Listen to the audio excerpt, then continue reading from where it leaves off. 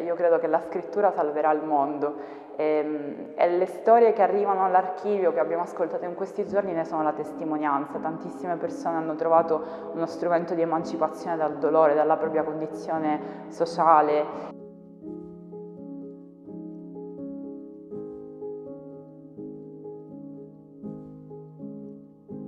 Io ho conosciuto l'archivio da sola, avevo un forte desiderio eh, di fare una ricerca sulle storie di vita, eh, perché ho sempre creduto fortemente che forse per studiare la storia bisognerebbe davvero partire dalle singole storie, o perlomeno questo è quello che ha sempre interessato me. Il primo anno da volontaria è stato il 2018 e ho cominciato a lavorare con dei ragazzi e delle ragazze nel team social.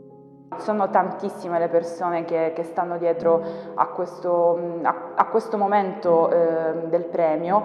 E, ed è anche complicato perché è talmente, eh, come dire, spezzettato che però insieme fa un grossissimo lavoro collettivo. E quando arriva il premio in effetti tutti abbiamo sempre un po' paura che qualcosa non possa andare e invece ogni edizione è sempre una, una gioia, una vittoria perché comunque di, come sottofondo c'è il lavoro di squadra, eh, c'è l'essere una, una, comunità che però è una comunità fatta non soltanto dai volontari, da chi sta in archivio, ma anche da chi arriva. Cioè il premio Pieve non è possibile, oltre mh, diciamo, a un aspetto proprio pratico come le donazioni, ma non è possibile senza l'affetto e la, dire, la fiducia e la presenza costante dei, di quelli che sono i diaristi, i finalisti.